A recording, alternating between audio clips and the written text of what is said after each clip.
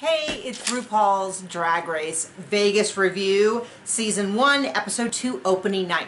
So this show kind of threw me for a loop because I assumed that um, we would follow like the two weeks leading up to opening night and that the last episode, I think it's a six episode arc. Um, I assume that that would start on open, that the, the finale would be opening night.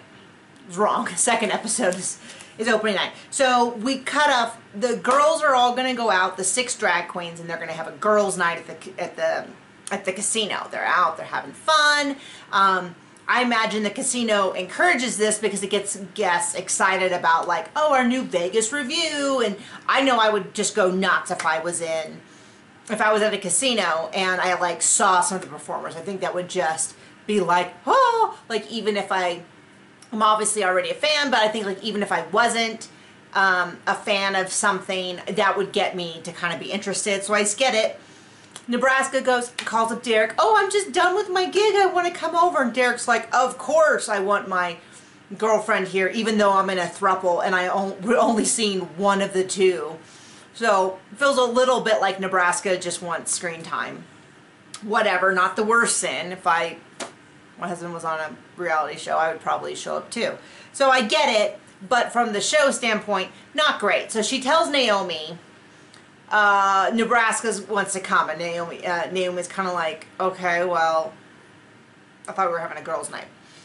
Shows up, and Asia's like, why are you here? And Nebraska's like, oh, I came to apologize, but not really apologize. And it's kind of like this, I'm sorry if you felt offended. I'd like us to get along.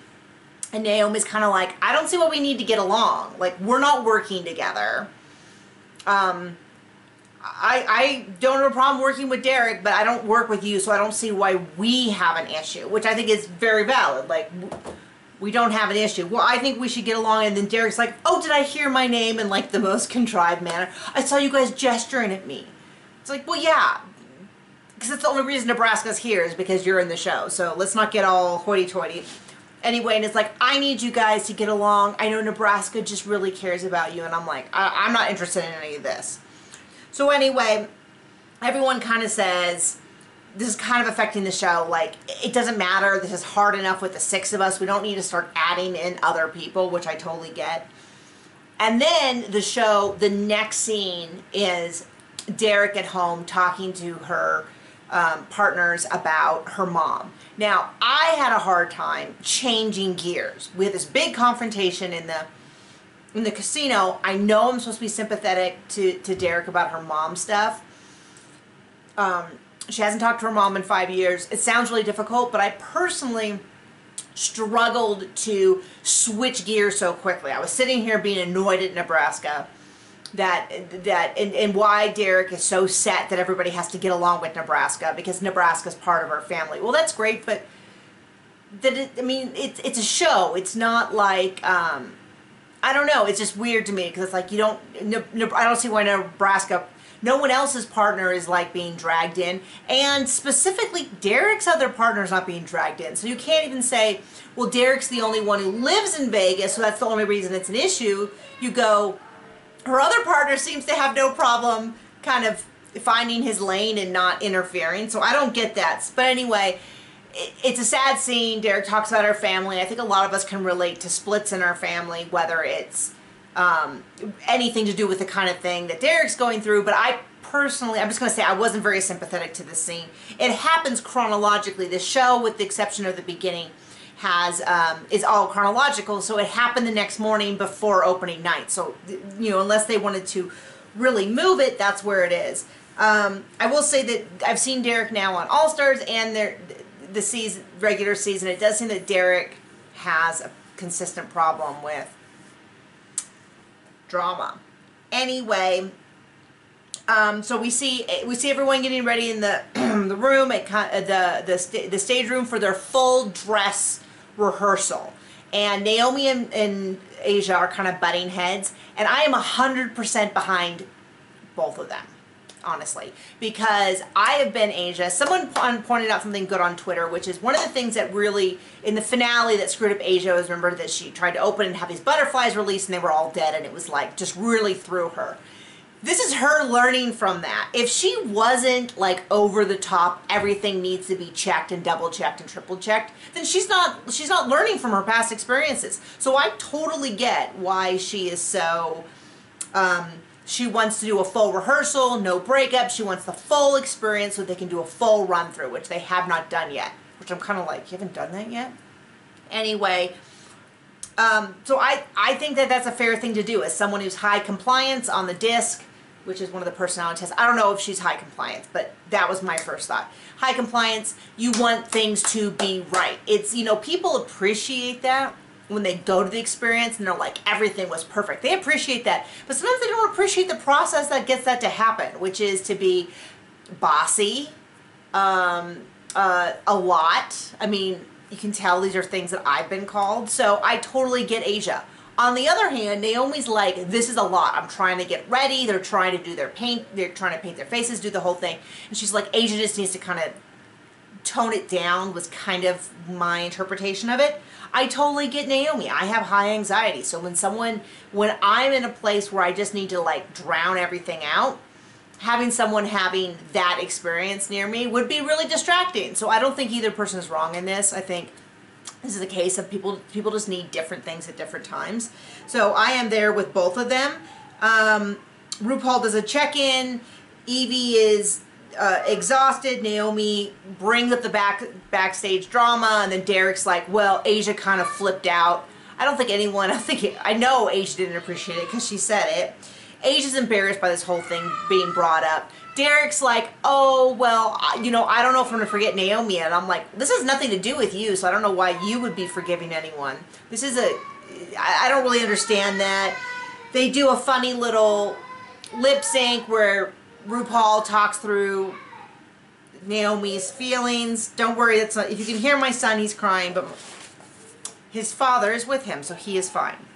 Uh, it's coming up on bedtime.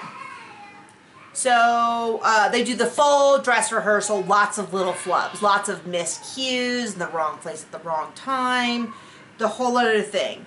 Um, Jamal and RuPaul, it looks like it's only the two of them, but then we get a cut there's more people. So the next day, it's about 700 seats, totally sold out. People have come in a lot. This is actually the first time that the season 12 queens made a public appearance. So we got to see pictures of them, and Naomi is late.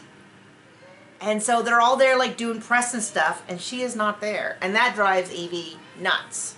So Naomi is starting to also look like she's got a little bit of some high, some problems.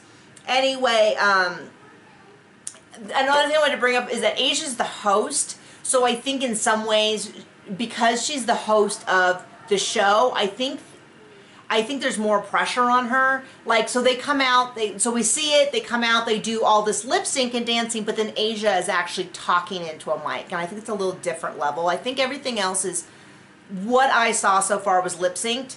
Um, and they finish, everything's great, there's awesome, they're gonna go to an after party. So I guess that's the next episode, is they're gonna go to this big after party. And then there's kind of drama. And so one of the things I like about the show is that unlike I do love competition, but in competition someone has to go home and someone wins. And then there's feelings about that. There's feelings about this person didn't because there's always a threat of going home you feel really invested in like figuring out who's right and who's better and who's this. And so one of the things i kind of like about this is i don't have to. I can just kind of enjoy all of them at their own level. I can enjoy um, that Kameron's quiet. So i like Kameron. Um, i uh, watch the Werq the World, which is on the WoW Plus app, so I, which I recommend. Um, I always like Kameron. I know Kameron doesn't talk a lot, but I've always liked it. Her and Asia are really good friends. Um, I love Vanjie, so I'm gonna. We, I didn't really mention Vanjie this episode. I love Vanjie. Vanjie is always at 10. We saw that in the very first episode. Vanjie's always at 10, but you know what's really nice? Vanjie not at 10. Like Vanjie, you get to kind of know her. She's kind of quiet. She seems to get along with everyone, which I think we saw in her season. It wasn't, when we saw in her season, we saw her at these big moments. You know, they're editing, they're doing all that. In this, this show, we see a lot of like, big, Vanjie's not always at 10. You know, she's, you, I always wondered like, what is it like to live around? She seems super chill. It looks like the, the cue for next week is that they kind of push her to like get a hookup and she's like that's not what i'm looking for. That's not what i want. And it's i mean that's really sweet you know we see on the show we see a lot of hypersexualized we see a lot of hookup culture we see a lot of raunchy humor we see a lot of everyone at 10 and always on. And this is a really nice way to get to, to see a lot of them talk about things like Yvie talking about her health and calling her boyfriend that she met online. Um, uh, on on Grindr was it, and he's a law student, and them talking about you know how she's feeling, and it's nice to see Vanjie a little bit lower, and, you know, and, and I'm not saying I don't like Vanjie when she's at ten. It's just that's not real in the sense of like um, if you listen to really good music, there's ups and downs, there's intense and there's low moments. Books have quiet moments and action scenes, and that's what gives you a nuanced character. So a chance to see more of a 300 and 60 degree view of a lot of these people that I've enjoyed. And I, I, I like that quite a bit. So anyway, that is my review on episode two. So see ya.